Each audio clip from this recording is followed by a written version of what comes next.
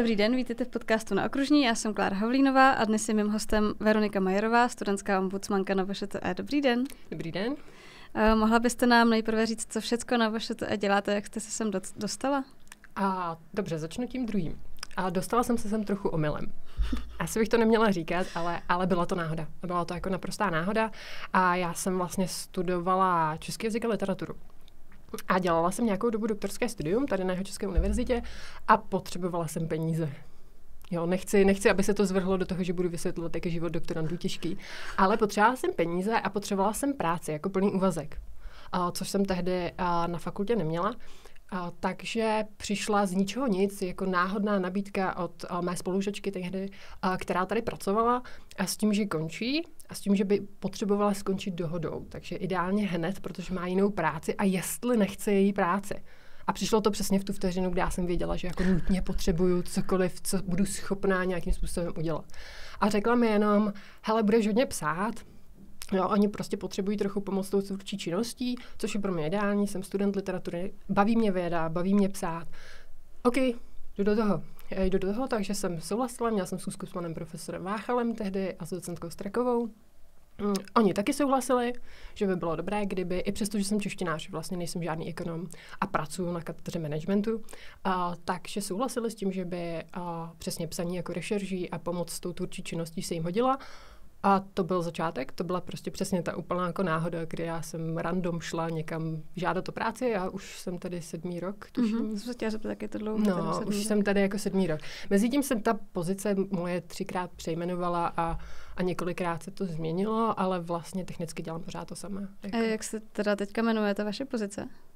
Teď jsem oficiálně vědecký asistent katedry managementu. Uh-huh. A jaká je teda náplň vaší práce? Uh, většinou, většinou píšu a většinou pomáhám přesně s tvůrčí činností a s projektovou činností. Uh-huh. Takže tam, kde je třeba něco formulovat, něco přepsat, něco vymyslet, tak ta, uh, něco vymyslet, něco, co není uh, striktně odborné, protože na to odborné uh, mám zbytek katedry, uh, mm-hmm. kteří jako mhm. přichází s těmi velkými nápady. Já jsem tady od toho, abych uh, ty nápady uh, finišovala, anebo abych uh, je zlepšovala.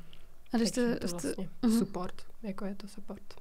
A když jste vystudovala literaturu, tak uh, mm-hmm. nechtěla jste spíš být spisovatelka? Nebo Chtěla. Chtěla. To, byla, to, to byl ten původní důvod, proč jsem šla studovat literaturu, protože jsem předpokládala, že jednou budu psát knihy, a což jsem asi mohla, asi mohla, ale taky jsem se strašně rychle přesvědčila, že mě baví psát. A baví mě psát beletrie, pořád mě to baví. A, ale je to pro mě dřina. Hmm. I, I tady je pro mě vlastně psaní jako strašně velká práce i po těch jako letech, protože neumím psát jakože si sednout a napsat něco od začátku do konce třeba, a, nebo podobně, nebo nějak uh, jako strukturovaně. Já ráda začínám od prostředků mm. a od konců mm. a, a mám s tím strašně práce, strašně často se někam vracím, něco ověřuju. Takže já když třeba napíšu beletry, a tak já ji na konci už nesnáším. Já už to nemůžu vidět, kolik co jsem napsala, protože v průběhu toho psaní jsem to 20krát přečetla po sobě. 20krát. 60krát jsem přepsala jednu větu a na konci už vůbec nevím, jestli tomu vůbec někdo bude rozumět, co jsem to vlastně řekla a co jsem chtěla říct. A podobně to mám i tady, ale v té vědě um, to podle mě funguje trochu líp než té beletry. A ještě tím, kdy se já ještě 20krát budu opravit, abych jako byla trochu přesnější v tom vyjádření, nebo abych spíš měla pocit, že říkám to, co potřebuju říct, uh, si myslím, že ve vědě je větší výhoda než té beletry, kdy já prostě 20 tisíckrát něco přepíšu a pak už to nemůžu vidět a vlastně ani nevím, jestli to je dobré a ani hmm. se mi to nechce publikovat. Ne, jako nemám tu ambici, aby to vlastně pak někdo četl.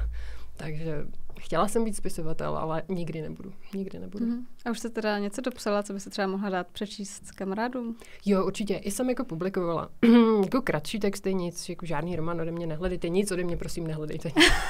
ale a, ano, publikovala jsem kratší texty, psala jsem sci-fi, pořád ještě občas někdo přijde a chtěl bych, aby něco, abych jako něco napsala někam, abych třeba aspoň povídku napsala mm-hmm. nebo něco, ale já už dneska moc moc to nedělám. A když už to náhodou udělám, tak nechci, aby to někdo četl. Mm-hmm. Což je ta pointa toho práce jako spisovatele. Takže to nebude, nebude to úplně pro mě. Pořád mě to baví, ale, ale není mhm. to jako práce pro mě. A váš oblíbený žánr? Science fiction. Mm-hmm.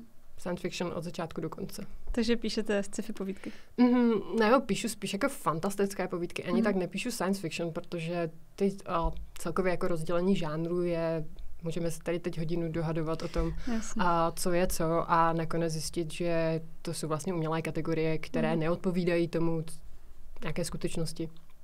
Takže ano, takže spíš píšu jako fantastické žánry, jako to, co bychom mm. třeba označili za mix. Za mix, jako nikdy nepíšu žádnou hard sci-fi, protože přesně mám strach, já bych strávila dva roky studování nějakých odborných knih. A pak byste to stejně nikomu nedala přečíst. A pak bych to nedala nikomu přečíst. A pak bych stejně měla strach, že tu jednu věc, kterou jsem potřebovala technickou použít, a jsem stejně použila špatně. Takže, takže ne, jako hard sci-fi většinou nepíšu, spíš jako mm-hmm. soft sci-fi. Mm-hmm. Takže vaší pracovní náplní je psát projekty víceméně? Nebo? No, psát, eh, spolupracovat na té tvůrčí činnosti, mm-hmm. takže mhm. spíš jako na, na článcích. Mm-hmm. Na článcích. A učíte taky na katedře managementu? Neučím na katedře managementu. Učím ve spolupráci s Centrum, s Centrem jazykových služeb, takže učím vlastně češtinu cizince. Aha, super. A teď jste měla asi hodně práce, že jo? Bylo u nás hodně Ukrajinců. Mm, a pořád jako technicky studuje tady pořád technicky jako mm. a relativně hodně Ukrajinců. A teď je na kurzech méně lidí, ale jako ty poslední dva roky, tři roky, vlastně už třetí rok, a ty poslední tři roky běží jako intenzivní kurz češtiny prakticky nonstop. Mm-hmm. Jakože běžíme od, teď od září do dubna a minulý rok běžel i kurz jako přes léto. Mm-hmm. Nevím, jak to bude letos, to těžko, těžko říct, ale, ale máme jako intenzivní kurzy od začátku do konce, vlastně od začátku roku do konce. Mm-hmm. A jako máte průpravu na to učit cizince češtinu? To jste taky studovala? Já mám vystudovanou bohemistiku, mm-hmm. takže, takže mm-hmm. mám vlastně jakoby magisterský titul z jazyka a z literatury. Mm-hmm. A, takže mám technické jako aprobaci a aprobaci na český jazyk. Mm-hmm. A je to asi něco trošku jiného, ne? Než je, je to jako hodně něco jiného. Je to, je to super. Jako za mě, já jsem nikdy nechtěla být učitelka. Nik, nik, nikdy v životě. Občas někdo, když jsem byla malá, tak a třeba babička přišla a řekla, ty máš dobré známky, bude z tebe paní učitelka.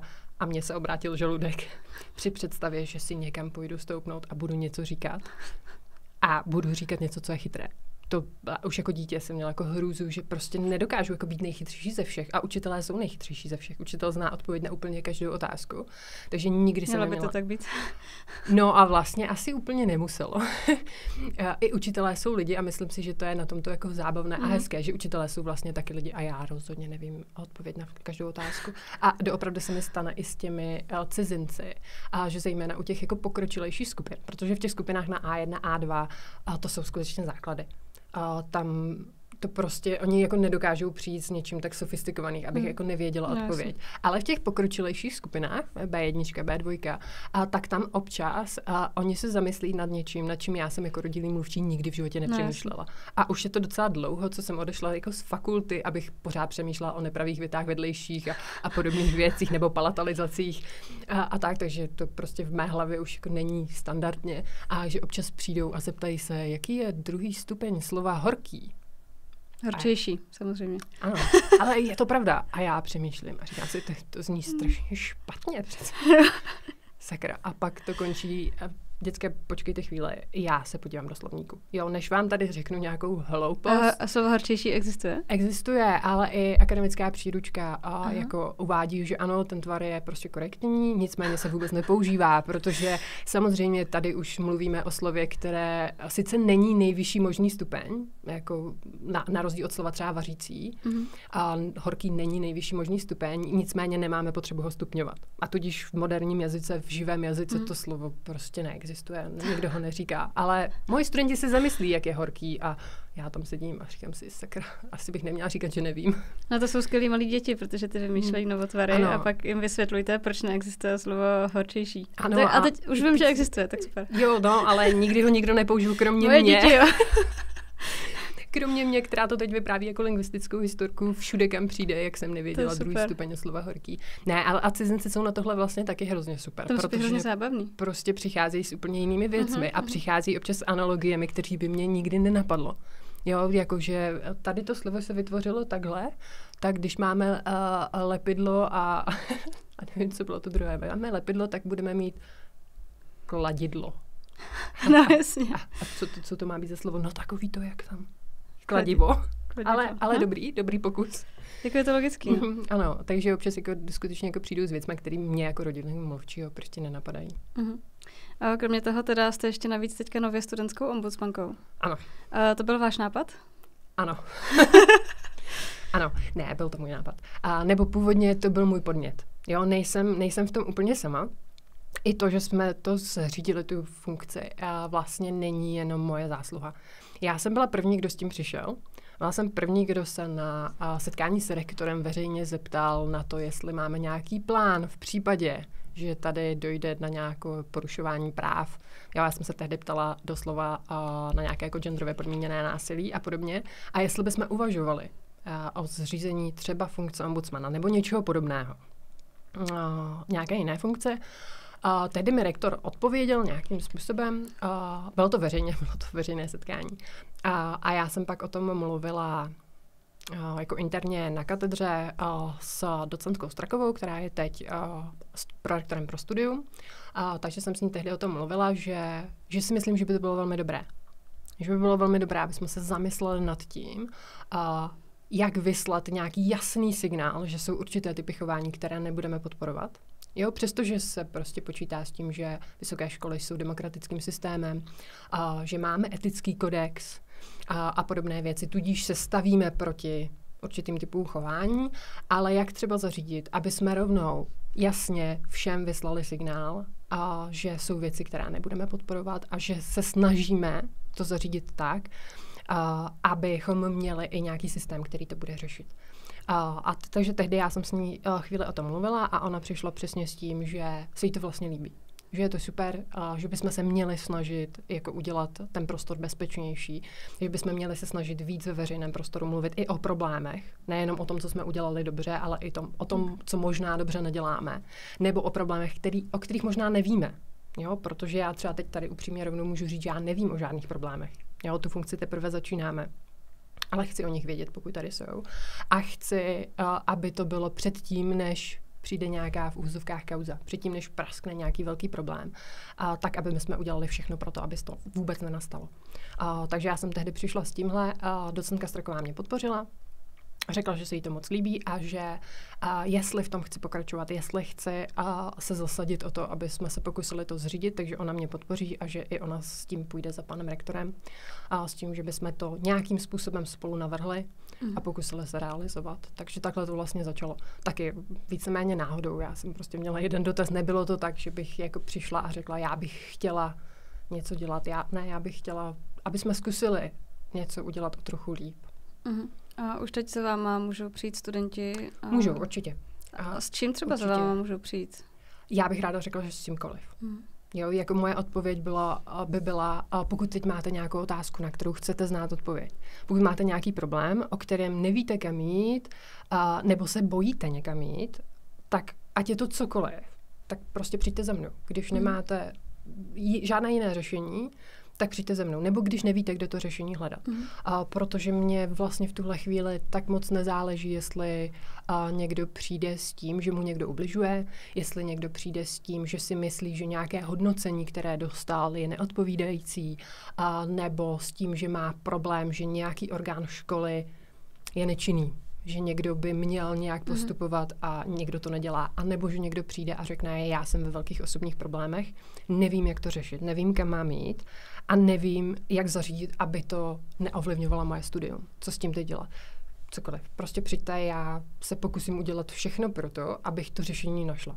A abych v případě, že to bude prostě citlivá věc, což v těchto případech je velmi často, tak i se zasadím o to, aby ten člověk zůstal anonymní a abych já byla ten člověk, který to bude mediovat, který to bude zařizovat a který bude tou tváří, která jako půjde do, ať už do konfliktu, což bych nerada, anebo, a nebo do nějaké, přesně jako mediace, do nějakého jako zařizování, tak, aby ten student prostě mohl zůstat anonymní, jo, abych já byla ten, kdo zná jeho jméno, mm. nikoli v celá škola mm. a aby prostě ten člověk zůstal tak, aby se cítil bezpečně a, a tak, že to někoho zajímá. Mm-hmm. Že někoho prostě zajímá to, že, že někdo má nějaký problém. Mm-hmm. Ale vy jste říkala, že o tom zatím moc lidí neví, že to, ta funkce tady existuje. A ne. jak to rozšířit, to povědomí? A, a takhle, Kromě protože... podcastu samozřejmě. Mm, ano, já doufám, že právě teď jsme zařídili, že to budou vědět všichni. A ne. A já doufám, protože a vlastně ta směrnice, která tu funkci ustanovuje, a vyšla teprve na konci ledna, A, a, a tudíž a my jsme úplně na začátku. Jsme úplně na začátku, já spoustu věcí, já přiznám, že já spoustu věcí vůbec nevím. A vůbec nevím, a ke spoustě věcí nevím, jak se postavit, a protože a funkce ombudsmana není u nás nová, my jsme to nevymysleli. To není, to není něco, s čím bychom přišli. Je to něco, co a, na, ve vysokém školství existuje poslední dekádu, tuším. Jakože myslím, že první byla Filozofická fakulta uh, Univerzity Palackého v Olomouce, která zřídila pozici studentského ombudsmana někdy před deseti lety. A tudíž existují i v tom českém prostoru existují zkušenosti, které já můžu přebrat. A na druhou stranu my jsme velmi malá instituce. Jo, v porovnání s ostatními uh, univerzitami, tak my samozřejmě máme řádově jako mnohem méně studentů. My jsme spíše srovnatelní s některými velkými fakultami. To znamená, já můžu přebrat nějaké zkušenosti, můžu se podívat a, na nějaké veřejně dostupné zdroje i a, samozřejmě i ostatní ombudsmani o své práci mluví. To znamená, já můžu slyšet jaké problémy řeší, co bylo třeba, co nebylo třeba.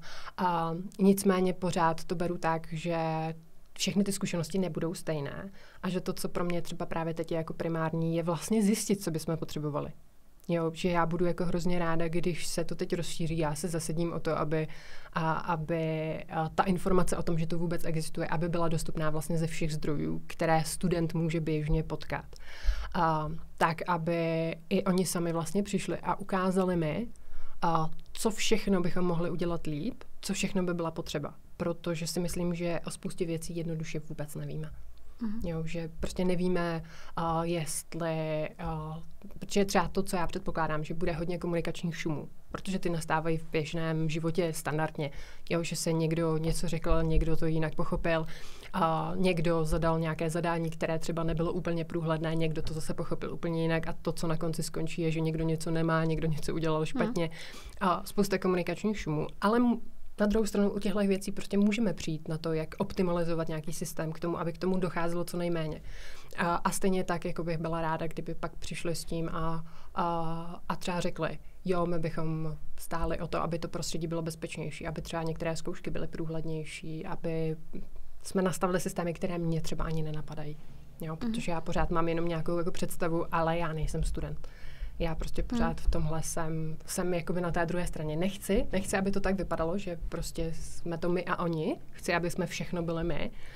A, ale pořád jsem na té druhé straně a dívám se pořád jako vlastně zvenku na ten problém. Takže bych hmm. byla ráda, kdyby prostě studenti chodili a říkali mi věci. A kde vás teda najdou studenti? Právě teď, a, a to je třeba taky problém, o, o, že vlastně právě teď mě najdete na Nemanické, ale na druhou stranu jsem si jistá, že se to místo bude měnit, že mm-hmm. tu kancelář mm-hmm. jako během, během příštích několika měsíců změním. Bude to pravděpodobně pak na okružní. Ano. Mm, jo, to bude že... vlastně i dostupnější pro studenty. Což jsem, ano, v tomhle si myslím, že to je uh, ideální. Ona ta Nemanická, já jsem hrozně prosazovala uh, tu Nemanickou, protože na Nemanické, uh, já vím, že část našich studentů tam nikdy nebyla. Na druhou stranu na Nemanická je výrazně klidnější uh, mm, než je okružní. A výrazně méně lidí na chodbách, výrazně méně lidí všude, mm. je tam menší hluk, je to víc domácí. Mm. A tady si myslím, že i ta neformálnost a domáckost, která tam je mnohem bližší, než je tady a na té okružní, je vlastně hrozná výhoda. Mm-hmm. Že to snažit se, nebo já se aspoň a, bych ráda snažila a, o to, aby to nebylo jako, že jdete do kanceláře si sednout před komisi a tam něco no, pracně vysvětlit. Mm-hmm. Ne, abyste to prostě šli říct jako člověk člověku hmm. nikoliv, nikoliv do nějaké extra formální situace. A teď asi sedíte, jezdíte kancelář s někým? Ne, ne, ne, ne. Mám, mám, ne, ne mám, mám kancelář 204, 204 na, a, na Nemanické. Těch kanceláří je tam málo, takže kdyby mě hmm. někdo hledal, tak mě stoprocentně najde. A, a mám kancelář sama, hmm. takže můžete přijít klidně zítra. Hmm. Zítra tam budete mít davy a budou to Naštěstí jsem si jistá, problémy. že ten podcast vyjde se spoždění. Takže... No myslím, že jako od té doby, co to vyjde, tak hnedka další dáte. Takže budu mít čas se připravit. Připravím čaj a sušenky a přijďte, přijďte s čímkoliv. No, mě by docela pak zajímalo zpětně třeba udělat jeden díl. Uh, vím, že to není úplně jako veřejný, ale s čím za vámi studenti chodí? Jestli jsou to spíš taky problémy jako mm. zbravíčka, anebo jestli jsou to opravdu nějaký určitě, vážný. Určitě bychom mohli. Tady pořád jako já si musím prostě dávat pozor na to, že jednak ne, nebudu prostě nikdy mluvit o konkrétních lidech a i o konkrétních problémech a vlastně v nějakém jako obecném smyslu. A takhle vlastně jsme dohodnutí v, co, v tuhle chvíli i jako s vedením školy a že já vlastně o, oficiálně podléhám pro rektoru pro studium A nicméně to hlášení o té činnosti uh, oficiálně dělám tak, abych neprozradila žádné jako interní informace nebo žádné osobní informace mm. a i tak, že vlastně informuji o typu něčeho, co řeším, mm. bez toho, abych uváděla informace, které by třeba mohly vést k tomu, aby mm. někdo uh, prostě aby ně, něčí jméno nebo něčí osoba vyšla jako oficiálně najevo. Mm-hmm. Takže pořád tak jako velmi, velmi všeobecně, velmi povrchně. Mm-hmm. A taky bývá ve firmách a na vysokých školách zaměstnanecký ombudsman. Mm. Co si o té funkci myslíte? Já si myslím úplně stejně jako u toho studentského ombudsmana si myslím, že to je vlastně velmi dobré. Že to je jako velmi dobrá myšlenka, a že je to i něco, co v, současné, v současném světě je potřeba. A protože si myslím, že to, co je nutné si uvědomit, je to, že rozdělení moci jako takové ve společnosti prostě nikdy nebude vyrovnané. Jo, vždycky bude mít nějaká část společnosti větší moc než nějaká jiná. A to, co si představuju pod demokratickými systémy, je to, že se ten, tu nerovnost budeme snažit vyrovnávat že prostě tam, kde víme, že někdo je v té slabší pozici, tak se pokusíme ho povystrčit. A to si myslím, že by platilo i u těch zaměstnanců. Že bychom stejně tak, jako já teď přemýšlím primárně o studentech, takže bychom stejně tak narazili na to, že kdybych se zítra zeptala zaměstnanců, a já je prosím, že pokud byste někdo chtěli přijít ze zaměstnanců, přijďte taky. Jo, přijďte taky, já vám nezavřu dveře. A, že si myslím, že kdyby a, jsme se zeptali jich, že by se tady taky ukázalo, že by třeba rádi jako řešili věci, o kterých opět já pravděpodobně ani nevím. Mm-hmm. No, že něco takového existuje. Na druhou stranu pořád máme vlastně odborovou organizace a to znamená, že pokud bychom přemýšleli o zřízení jako zaměstnaneckého ombudsmana, tak pravděpodobně jako ve spolupráci s odbory, protože mm. tam se budou některé věci asi trochu překrývat, jako některé kompetence. Ale za mě je to velmi dobrý nápad. Mm. A e, jaký je ideální řešení, když třeba zaměstnanec má nějaký problém a e, kam to mají řešit? Teď je otázka, jaký to je problém. Tak Teď je otázka, jaký to bude jako problém. tomu pracovní protože, doba, platové mm, ohodnocení. Protože některé věci skutečně jako vlastně pod, podléhají těm odborům, jako s některými věci, věcmi bychom se mohli uh, prostě všichni ob, uh, obrátit na odbory. A pak jsou tady věci typu, já nevím, třeba šikana a, a podobné jako věci, které prostě trochu vypadávají z těch systémů, jak to řešit. A ano, jsou to věci, které jsou jako velmi osobní a věci, které kam půjdete, to říct nahlas, pokud vás bude na vašem pracovišti někoho šikanovat, tak tam si myslím, že tady je jako velký prostor přesně pro, a, pro člověka, který bude stát stranou, což by ombudsman měl, mm-hmm. vždycky být jako někde nezávisle na ostatních orgánech, a, kde a, můžete přijít a můžete být anonymní, můžete prostě tam být jako sami za sebe a někdo jiný bude a mediovat tu situaci nebo pokoušet se tu situaci řešit vaším jménem, v vozovkách jménem. A, takže tady si myslím, že by jako byl velký prostor. A myslím si, že i teď, že pokud by někdo, uh, někdo chtěl, tak jak říkám, já skutečně nezavřu dveře nikomu. A naopak, když uh, my i zaměstnanci jako dají najevo, že by o to stáli, že by uh, tady prostě byl ten prostor, kde, uh, kde by lidé chtěli, aby tady měli nějakého svého zastánce, nějakého uh, obájce práv, tak v tom případě prostě pak to uh, přednést tomu vedení bude o to snažší. Jako mm. ukázat, že, že by tady k tomu byl prostor, že bychom o to stáli. Mm. A vy jste ten člověk, který může přijít za vedením a říct jim nějaké podněty?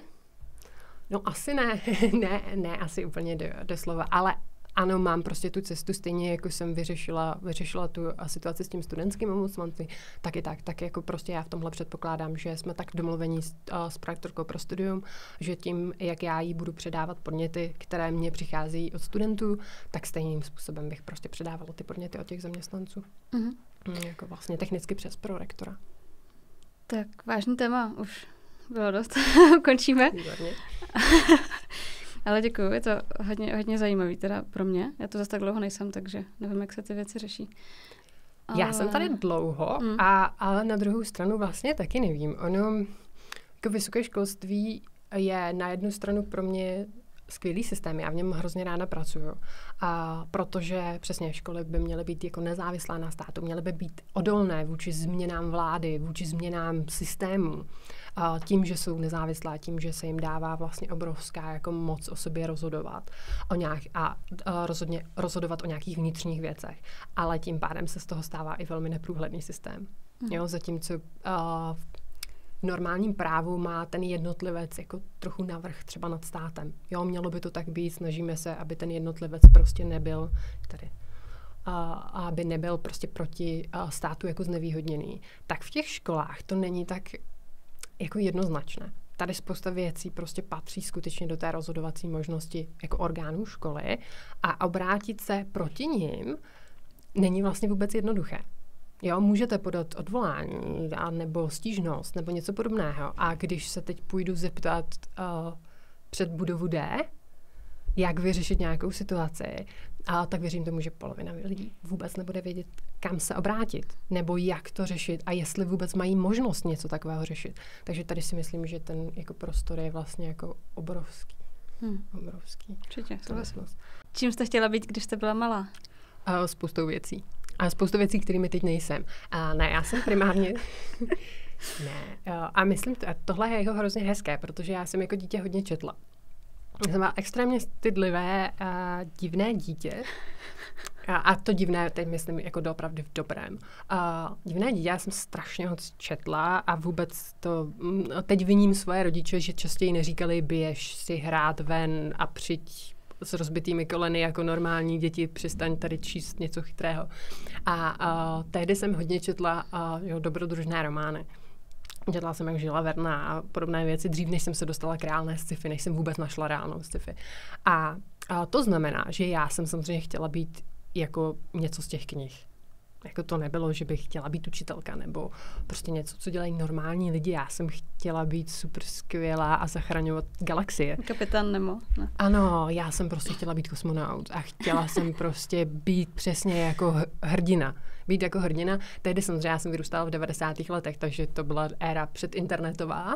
A předinternetová a i v tom knižním světě to vlastně byla éra, kdy tady a, pro malé holčičky nevycházely dobrodružné knižky pokud v něčem byla hlavní hrdinka holka, tak to bylo něco romantického, což mě tedy vůbec nezajímalo. Ale vůbec, vůbec nezajímalo něco o tom, jak jsem potkala nějakého kluka a ne, já jsem chtěla vesmírné lodě.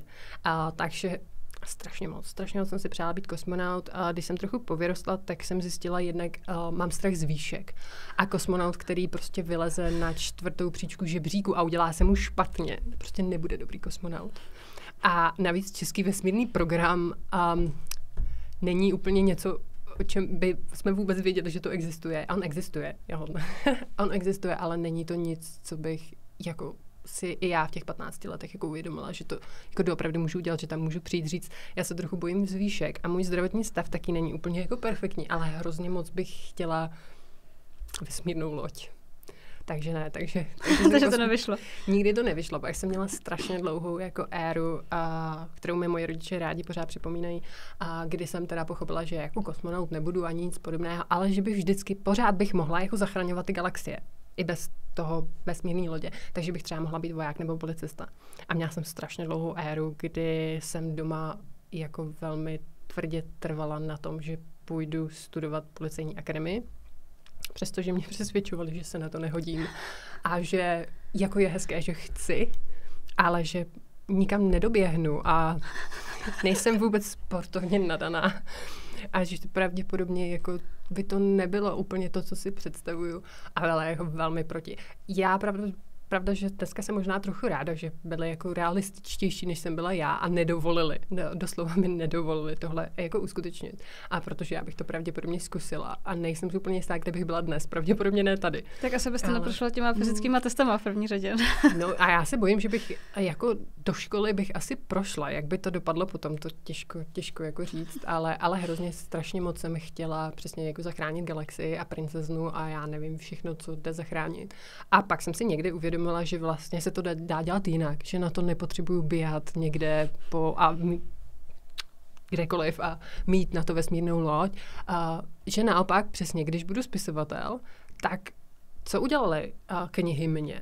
Jako naprosto ovlivnili můj život. Úplně ho změnili. Já si nedovedu představit, co bych byla dnes za člověka, kdybych přesně jako dítě neležela v žilu Vernovi a, a v podobných věcech, nebo jako úplně malinká holčička nečetla Petra Pana a celý svůj život si neříkala, že je fakt hloup, hrozně hloupý, když vyrostu a už to nebude prostě, už to nebude kouzelný. Takže já chci vydržet být dítě navždycky byla bych asi někdo úplně jiný. A spisovatel, ano, to je profesionální lhář. To je prostě člověk, který vám zařídí, že ten život máte. Byť jako na, malý, na nějaký malý okamžik. A rozhodně je to věc, která vám může změnit život, která vám může zachránit život, protože to příběhy prostě dělají. Takže jsem hodně jako se přesunula do toho, že vlastně mám, na rozdíl od sportu, mám talent. mám talent jako na, a ten umělecký talent mám a mám kde jako brát, jde mi to, baví mě to mnohem víc než ta druhá půlka, takže jsem se víc přeorientovala jako do těch humanitních, do těch jako humanitních směrů, které mi dneska taky přijdou vlastně velmi, ta myšlenka je pořád stejná. Prostě něco změnit a něco udělat dobře a říct si, že když jsme ten jeden malý Frodo, takže pořád jako můžeme, a můžeme jako udělat ty velké věci. A nebo malé věci, které i na malých věcech záleží. A jaká by pro vás byla dneska vysněná, uh, vysněné povolání, anebo naopak nejhorší povolání? Ježiš, já nevím. A vysněný povolání, nevím, já doufám, že zůstanu jako ve, vysoko, ve vysokém školství. Mě, baví mě práce se studenty. Jako myslím si, že to má jako smysl, že, že fakt jako pracovat a s tou mladou generací jako má, má velký smysl. Baví mě to, baví mě učit. A, a moje vysněná práce, já bych pořád asi chtěla být kosmonaut. Jako, mm, asi, jo, asi jako kdyby mi prostě teď někdo řekl, běž a dělej úplně cokoliv bez jako překážek, tak bych stejně asi chtěla být dobrý den. Já se mm-hmm. tady hlásím do vašeho vesmírného programu. Nevím, co mám dělat a nic neumím, ale já asi, asi bych pořád chtěla být kosmonaut. Takže mhm. byste se chtěla podívat do vesmíru? Ano, jako nejsem si já bych měla takový strach, že nevím, jestli bych si z toho vůbec něco pamatovala, ale jo, určitě bych hrozně mm-hmm. chtěla. No, anebo bych chtěla prostě aspoň jako žít dost dlouho, abych viděla všechny, všechny ten jako progres, který mm. jako vlastně věda dělá za ty poslední, za ty poslední jako dekády, to, jak strašně rychle jako pokračujeme v tom, v tom třeba technologickém vývoji a podobně. Určitě. Jako. Můžete se třeba nechat zmrazit a nechat se probudit za 250 let? To dneska už taky jde. Jo, to by určitě šlo. Mě by to taky zajímalo, jestli no. budeme jednou cestovat No, jako, určitě, jako když se třeba mluví o kolonizaci Marsu nebo tak, tak to je ještě docela takový malý plán, reálný. No, Mě by zajímalo, ale i tak jako představa, že se toho dožiju. No, že no, jako jednoho to myslím, že možná jo, možná Že prostě jako dítě jsem četla o, o, o, příběhy prostě o Sheparda jako prvního američana ve vesmíru a podobně. A, a teď najednou jako se dožiju toho, kdy prostě budeme kolonizovat Mars nebo cokoliv dalšího, co nás jako napadne. To bylo jako mm-hmm. super skvělé. A co by pro vás bylo úplně nejhorší povolání? Něco, kde se musí hodně mluvit na veřejnosti. no, asi jo. Mm, asi jo. A, a, a povolání, které vydrž, a, jako vyžadují extrémní for, formalitu. Já bych třeba ne, byla strašně špatný tiskový mluvčí mm, čehokoliv. Jsem chtěla říct, no, tisková mluvčí. A protože to představuje, že teď přijdu jako formálně oblečená, což pro mě není úplně to jako přirozené. Není to ta, ta část, kde se cítím jako dobře.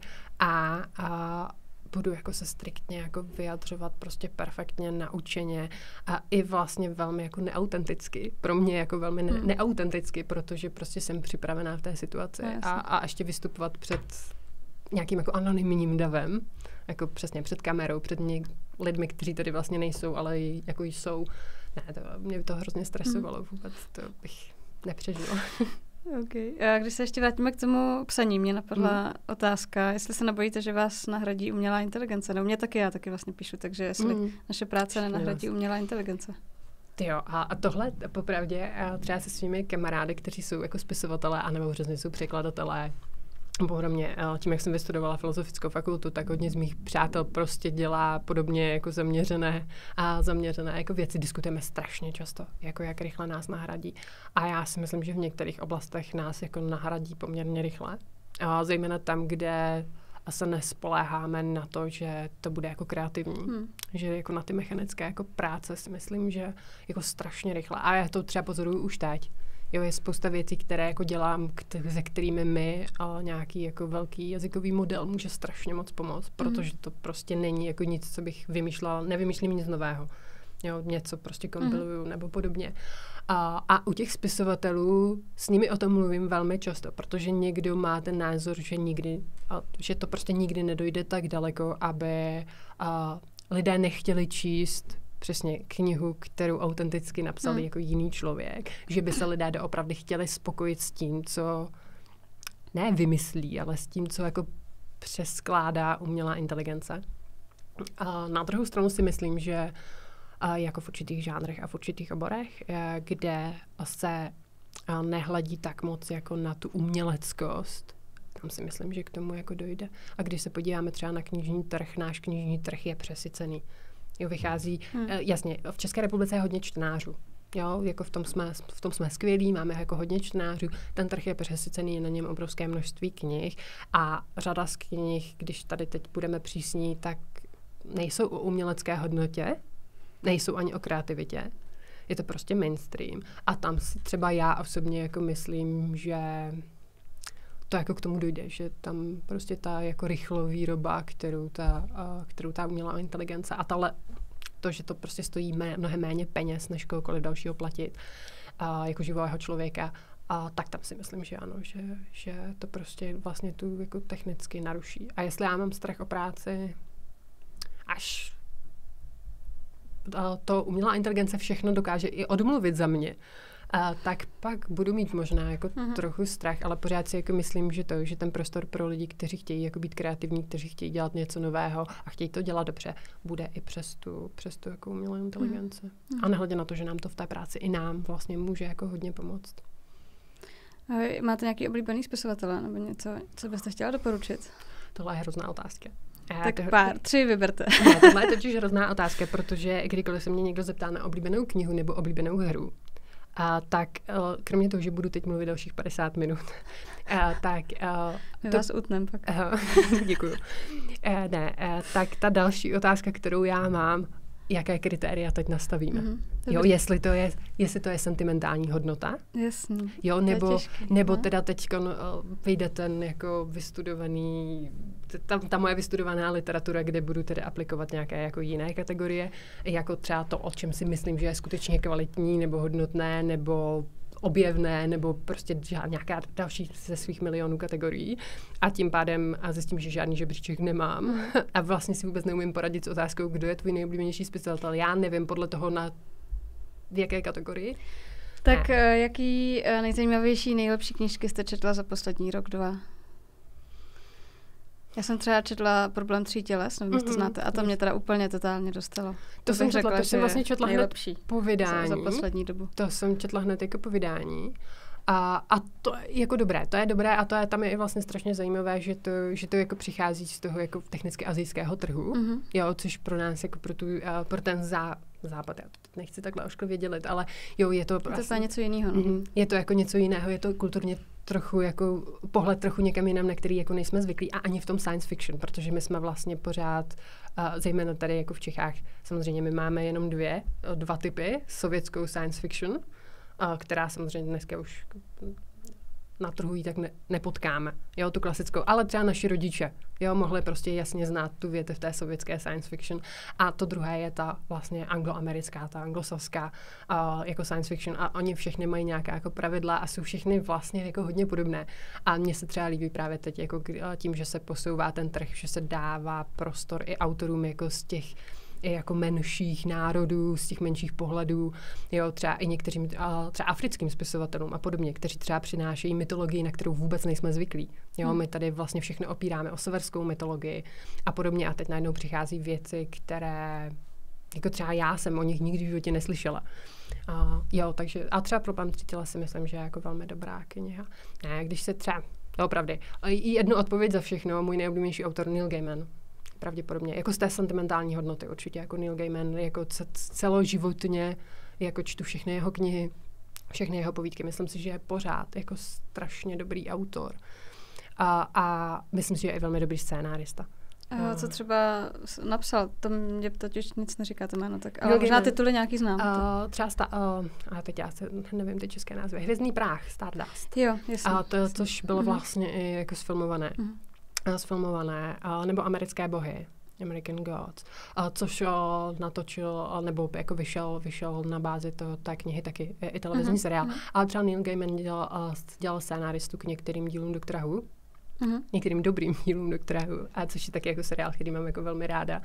A, a je to pro mě, on je autor, který, on nikdy není technický, on je vlastně autor jako fantastiky, ale on umí být hrozně lidský, jako strašně lidský. On umí napsat příběh o naprosté trivialitě, jako o jednom malém věci, o jednom malém člověku, o jednom malém přání a udělat toho něco, co jako mě hrozně jako dojme, co mě jako emocionálně strašně jako posune a něco, o čem dokážu jako přemýšlet. Ještě další jako hodiny jenom tím způsobem, jakým on dokáže říct naprosto triviální, jako jednoduchou věc. Mm, to mhm, pro mě super. v tomhle jako z té sentimentální hodnoty určitě, určitě jako pro mě Neil Gaiman jako celoživotně je. Mm. Tak díky za tip. Nemáte za Jsem čekala něco známějšího, ale uh, Ty, já si myslím, znám, že, že to, že, že je jako známý, že to, mm-hmm. že třeba ještě když si pamatuju jako na začátku svého vysokoškolského studia, kdy jsem ho četla jenom já a nikdo ho neznal, tak dneska si myslím, že, že je to jako autor, který se i velmi dobře prodává, mm-hmm. takže, takže, nebo Sandmana, třeba to můžete znát Sandmana jako mix. Komiks, jo, komiks, komiks a to vlastně mm-hmm. Netflix má to, a mm-hmm. to vlastně velmi dobré seriálové zpracování. Tak ten má hodně široký taky záběr, že ano, má scénárista, komiksový skvělý. tvůrce. Je skvělý a co mě s ním nejvíc spojí, je, že máme narozeniny na stejný den. Jako jiný rok, ale je to jako osu, osudové, mm-hmm. máme narozeniny ve stejný den. Já a Neil Gaiman. A jezdíte na komikony, protože oni tam tyhle spisovatele a autoři komiksů docela dost jezdí na, mm. autom- na autogramiády. Uh, já se přiznám, že vlastně tohle bylo uh, jako celý život, já jsem hrozně chtěla. Já jsem vlastně pak i na vysoké škole uh, primárně to, čemu jsem se jako vědecky věnovala, a byl vztah mezi textem a komunitou. A já jsem vždycky hrozně, a jezdila jsem celé roky, ještě dávno předtím, než to začalo být moderní. Mm-hmm. jo, než to začalo být masové, protože teď, ano, teď je uh, Prague Comic Con a jako doslova i s tou značkou Comic Con, já jsem ještě jezdila na festivaly fantazie do, do Chotiboře, mm-hmm. uh, kde jste, ano, potkali jste české spisovatele, ty zahraniční, jako některak výrazně, to bych skutečně musela do Británie nebo, nebo do Ameriky. Ale jezdím, teď už, teď už málo, teď už to je jediná akce, na kterou každý rok jezdím nebo se snažím jezdit ze světkyně v Praze, hmm. kde taky potkáte spoustu lidí a já tam potkám spoustu svých jako přátel, které, na které nemám čas celý zbytek roku a koupím si spoustu knih, které nepotřebuju a nemám kam dát. A že tam jako jezdím na komikony jako málo vlastně technicky. A já ještě jak nejsem úplně pro mě uh, moje sociální úzkosti jako, Jasně, moc uh, lidí. Moc, moc lidí. A čím víc ty uh, ty setkání jsou jako komerční, komerčního rázu. A já chápu, proč jsou komerčního rázu. Oni se taky musí zaplatit. Hmm. Jo, někdo to, prostě ty doby, kdy se tohle organizovalo jenom z lásky k tomu jako žánru, k, těch, k těm věcem, kdy to někdo dělal čistě dobrovolně, nemůžou vydržet navždycky. Ani v tom malém státě, jako jsme my. A, takže dnes je to je to, na mě je to jako hodně velké, na mě je to strašně stresující, hmm. protože jsou tam skutečně jako davy lidí. Jako super atmosféra, spoustu těch lidí mám jako hrozně ráda a pak mám vždycky pocit, že bych potřebovala, aby tady udělali ještě jako panic room vedle, abych já ve chvíli, kdy už je tam jako hodně lidí, tak si mohla jít sednout na chvíli vedle a tam si teda někde v klidu třeba číst knihu nebo aha, něco jako aha. jako dalšího, abych to přežila. Takže pro vás je lepší být doma a hrát videohru? Nebo Určitě, Ježíš Maria a hrát, hrát videohru. Ne, to je jako, já jsem jako velký gamer a o tom a, a hodně o tom mluvím. Myslím si, že kdokoliv, kdo mě tady jako ve škole zná, i z mých studentů, tak i moji studenti všichni vědí, že jsem jako velký gamer. No, takže ano, takže pro mě jako hrát sama nějakou hru je super. A jak na to berete čas? Protože to je, tam jste mít stovky odehraných hodin. Ano. Já to nechápu, tohle, já taky ne. ty lidi spí. Ne, a já taky ne. Ne, to prostě máte, takhle je čas na práci, takhle je čas na spánek a někde tady vám zbývá nějaký jako osobní prostor a když nevíte, tak vyndáte čas na spánek. Čas na práci. já bych ráda vyndala čas na práci, ale víš, jo, to bych tady no, neměla takhle veřejně říkat. Ne, ne, ne. A, tak prostě dáte prostě ten čas na spánek, řeknete, že se přeceňuje a že vám prostě 20 bylo poměrně nedávno, takže to ještě přežijete, ale já už to teda jako nepřežiju. Já už ty doby, kdy si pamatuju ze svých studií, a kdy jsem prostě po 150. hrála Mass Effect a ve 4 ráno jsem plakala u nějaké dojemné scény a říkala si, že musíš jít za dvě hodiny do školy. A a tak dneska už to Teď už to nejde. Hm. Ale už to, já už jsem pak nefunkční jako, po, jako no. kdybych přišla do práce po prohrané hmm. noci, tak si všichni budou myslet, že jsem nemocná, nebo že to, protože já už nevím ani, jestli bych věděla, který jeden v týdnu a jestli mám jet na areál na Nemanické nebo na okružení, nebo co vlastně mám dělat. Ne. Ale jako snažím se a, a je pravda, že to, že hraní je jako strašně jako časově náročné. Mm-hmm. Že jako když hrajete hry jako já, že já vlastně hraju příběhové hry, to jsou, vše, jsou všechno jako uh, RPGs, to jsou, to je investice já bych přečetla deset knih za tu dobu, než dohraju jako no právě, jednu, si říkám, jednu hru. jestli vám to nepřijde jako ztráta času, vy, která Ne. tak ráda čtete. Ne, vůbec. Vůbec. A vůbec, já jsem strašně jako obhájce her. Jako Jo. obecně jsem strašně obhájce her, protože k ním, uh, jsem se k ním dostala taky náhodou a omylem. A Jednak, jasně, jsem dítě z 90. let, já jsem doma prostě neměla herní konzoli jako malá, neměli jsme ani počítač, jako strašně dlouhou dobu jsem doma neměla vůbec žádný počítač. Já si myslím, že pr- svůj první herní počítač jsem si koupila sama, postavila sama. Takže už jsem jako byla, a byla dospělá, už jsem byla na vysoké, když jsem jako si pořídila něco, na čem se dá něco vůbec jako zahrát. A měla jsem vždycky a, takový ten, takovou tu intelektuální nadřazenost.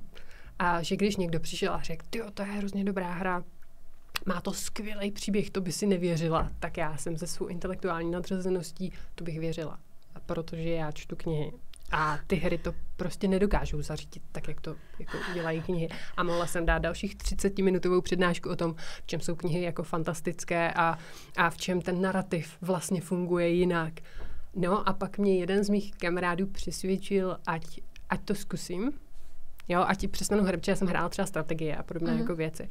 A, a ať zkusím, ať zkusím tehdy Dragon Age jedničku, a což už je 12, 12 let stará hra, 13, 15, no hodně, už, už je to jako hodně. První Dragon Age vyšlo 2011, si myslím. Mhm. A, tak nějak. A, zahraj si to, ten příběh je hrozně skvělý, budeš strašně překvapená. Takže já jsem se přemluvila, doslova jenom kvůli němu. A a jenom kvůli tomu, abych to pak mohla uh, jako sof, ano, sofistikovaně kriticky zhodnotit s tím, že opravdu vím, o čem mluvím. Aha. A takže jsem si, a pamatuju si na své první dvě hodiny a hraní Dragon Age, když jsem vůbec nevěděla, cože, cože vůbec nerozumím, co po mně chcete, ani o čem tady mluvíte. Vůbec, naprosto ztracená. A, a pak si pamatuju, to byla přesně hra, kterou jsem dohrávala v noci. A plakala jsem v některých jako částech a byla jsem, jako když půjčíte malému kni- dítěti něco, co je úplně nového. Mhm. A čím víc, že jo, i když čtete, tak jako dítě jste ze všeho jako nadšený. Všechno je jako poprvé, všechno je něco obrovského, co jste právě teď našli. A Mhm. čím starší jsem, tím méně se mi to u knih stává. No, jasně. že by něco donutilo, že mi bude bušit srdce a že budu říkat, Ježíš a tohle byl prostě něco, co si budu pamatovat už navždycky. A ty hry, jak pro mě byly nové, tak najednou něco vzalo narrativ, který, nebo příběh, který už jsem slyšela tisíckrát a podalo ho na jiné platformě, to znamená podalo ho vlastně jinak, přes jiné médium. A tak moc, že já jsem seděla jako tu, přesně, to pětileté dítě, které dostalo hračku, kterou už vždycky chtělo a teď neví, co s ní a je tak hrozně nadšená, že přesně, že jsem dohrála jeden playthrough, nemohla jsem o tom přestat mluvit, začala jsem rovnou další, že já si to musím zahrát znova a zkusit udělat něco jinak, nebo Mhm. jako zjistit, jak by to bylo, kdybych se rozhodla někde jinak. A to už mi zůstalo. To už mi jako zůstalo a pořád mám, uh, jakože ty hry mi jako dokážou občas jako znova vyrazit dech a pamatovat, a přivést jako tu situaci, kdy si pamatuju, kdy jsem byla ta malá holčička a nespala jsem z něčeho, Mhm. mm. tak t- jako hrám se to pořád jako daří vlastně víc než knihám paradoxně, To že zajímavé. jako, a, že jako mi umí jako vyvolat tady to jako dě- dětské nadšení, jako že Mhm. teď, teď je to to, co jsem vždycky chtěla a teď prostě nedokážu usnout, protože přemýšlím o nějaké jako volbě a o něčem, co se stalo a mohlo a nestalo a teď do toho samozřejmě jsem vystudovala tu literaturu, takže pořád přemýšlím nad tím, co je pseudovolba a nad tím, jak vlastně to jako koncipovat, jakým způsobem to vyprávění je jiné než v těch knihách. Právě tím, že nám dává ten pseudo pocit jako volby Mhm. a toho, že vlastně Jasně. jsme účastníky toho Jasně. příběhu. Mhm. A tak, takže ano, nikdy nepřestanu mluvit o hrách. nikdy. No a jaká je teda vaše oblíbená hra? To je úplně stejně těžká otázka jako, eh, jako na ty A knihy. kdybyste fakt musela jednu vybrat? A kdybych fakt musela vy- vybrat, tak z té sentimentální hodnoty, ta hra, kterou nikdy nepřestanu milovat a o který budu navždycky všude mluvit, což uh, se mnoho lidí přesvědčilo, protože jsem o ní už několikrát mluvila i jako ve školním prostoru a, a podobně. Ne tady, a třeba na Jihočeské univerzitě, je Mass Effect. Já nevím, jestli znáte někdo trilogii Já Mass Effect. nehraju hry, takže neznám. tak je, počkej, tak mi ještě dejte pět minut, já vás přesvědčím. Jo, A já, že to, já, já mám dvě malé děti, takže já to Jo. fakt časově jako nezvládám. Já bych hrála, kdybych měla a čas. tak jak moc jsou malí, to oni, já myslím, že by, Pět a sedm. To by zvládli hrát s váma. Ne, je v to vůbec neříkejte. Já se snažím od toho bychom- držet ještě na chvíli, ještě dál. Ježiš, to bychom Ale už všichni říkají, no už ten Minecraft to už by hrát mohli, ne? No. Říkám, no a už je a v- neuvidím ty a v, se, děti. a v sedmi letech je to dobrý, protože No. to už jim to s těma třeba uh, s ovladačem a tak jako A jak půjde. ho pak přinutím od toho odběhnout a dělat si úkoly? Nijak. To je Jen právě ono. Až přijdu na to, jak přinutit sebe. Třeba odběhnout a dělat. Ne, uh, ne já to, to, to s, těma dětma, uh, s těma dětma to chápu. A já jsem třeba vlastně asi možná ráda, že jsem jako neměla počítač jako dítě. Hmm. A že jsem prostě nestihla, protože si sama uvědomuji, jak jako uh, snadno to vytváří tu Právě. Uh, jako závislost. Takže já myslím, že začít v dospělosti je ideální. Pro, jako pro mě to určitě bylo jako ideální a bylo to jako velký wow efekt, který nevím, jestli jako dítě bych vůbec měla, ale jako hmm. dospělá mám ten wow efekt. Takže teď pro mě jako fakt Mass Effect, Mass Effect je hra, která bez, jako bez vtipu a jako mi fakt změnila život kde to byla ta hra a to byla ta hra, ke které se uh, pořád vracím. Jako mám nahrané neskutečné množství hodin na to, že to je příběhová hra, mm. takže když ji zopakujete třikrát, tak už jste viděli všechno, co jste vidět mohli a já po desáté neustále pořád pokračuju. A kdykoliv se třeba cítím jako trochu špatně nebo, uh, nebo tak, že vlastně nevím, co ve svém reálném světě jako udělat, tak jdu hrát Mass Effect a protože prostě Commander Shepard, což je hlavní, hlavní hrdina nebo hrdinka, podle toho, jaký gender zvolíte, a tak ona má ty odpovědi. Ona taky nevěděla, co má dělat a nakonec prostě udělala to, co si myslela, že je dobré a zachránila galaxii. Konečně, a takže jste zachránila konečně galaxii. Spoustu, spoustu, jako ve hrách profesionálně. Jo, profesionálně jsem jako dobrý zachraňovač všeho, co je nutné zachránit. ale, ale ano, jako to, je, to je prostě hra, ke které se jako vracím a pořád o ní mluvím a, a pořád ji budu jako milovat a pořád ji budu hrozně jako všem nutit, aby si ji taky zahráli. Mm-hmm. A četla jste knižku Ready Player One? Ne, je to, ne, je to i, viděla, je to viděla film. film. film no a ta knižka viděla. je hodně jiná. To je právě no. o tom, že v budoucnosti bude jedna velká počítačová hra a všichni v ní budou žít. No, Myslíte, já... že to je jako možný v budoucnosti, reálný? Já předpokládám, že ano. no mně by se to třeba docela líbilo, i když mm. ten reálný svět je Já prostě... předpokládám, že ano. Já jsem kdysi, kdysi ještě jako ze, ze studií na, na vysoké škole psala hodně o hrách, ale ne jako o hrách v tom gamingu, a o hrách jako...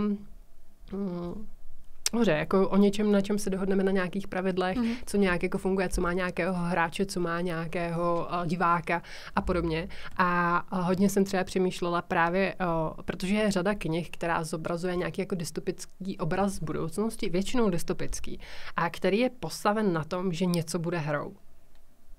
Jo, a Running Man, jo, nebo třeba Hunger Games, té novodobé jako historie kde vlastně přesouvají uh, nějakou politickou moc do nějakého prostoru hry a tím ovlivňují společnost. Jo, ta společnost je okolo toho vlastně jako sestavená. A tam to myslím, nebo Stephen King třeba v, v dlouhém pochodu a zobrazoval úplně jako podobnou, podobnou věc, kdy se jako hra stává nějakým jako vyjádřením a nějakým komunikačním kanálem a dost často hlavním komunikačním kanálem. Většinou ten obraz je jako extrémně dystopický. Jo, většinou je to vlastně, že to je jako extrémní jako masové ovlivňování. Hmm. A, a to znamená, že bych nerada, aby jsme se toho dožili, aby všechno byla hra.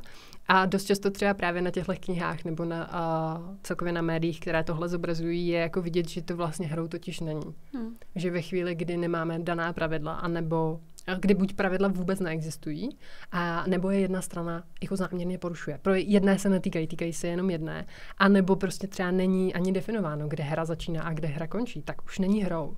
Jo? Hmm. Hra se prostě odehrává jenom v prostoru, který za ten prostor označíme. Takže ve chvíli, kdy hra bude realitou, tak už nebude hrou. A četla jsem příliš mnoho knih, kde to bylo hodně špatně na to, abych si řekla, to by bylo cool. Jako občas si říkám, že by bylo cool jako žít v nějaké hře. Hej, já bych, to, tohle by byl svět, já bych hrozně ráda se zítra probudila a byla hrdinou v tomhle. Ale ten realista ve mně říká, ne, to by nebylo dobré. Hmm. to by jako nebylo dobré. Bylo by to cool, ale, ale asi ne dobré. Hmm. Super, tak já moc děkuji za návštěvu. Už já jsem děkuji za pozvání. Úplně vyčerpala všechny otázky, co jsem se chtěla zeptat. jo, já jsem, dobře, já jsem vyčerpala všechny odpovědi. Já myslím, že ještě ne. Mm. Tak mm. budeme pokračovat třeba někde u piva. Mm. Jo, to bude Já vám budu vyprávět o komikonu, jak je to jo. super. Já jsem viděla spoustu fotek, jakože, že někteří moji kamarádi vlastně jezdí i teď jako s dětma. Já prostě, mě dav lidí, dav lidí, ještě, ještě by někdo na mě chtěl mluvit.